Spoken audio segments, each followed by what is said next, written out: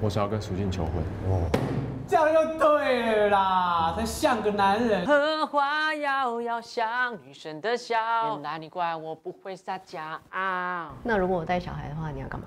我可以当家政夫啊。讲的好像你很有经验一样。我跟秀明是看苏静睡着了之后，我们才离开的。可是家里面没人啊，然后他也没有带手机出门。每周一至周五晚上八点，TVBS 欢乐台最佳拍档，本节目由黄城 Park 姐姐等你来冠名播出。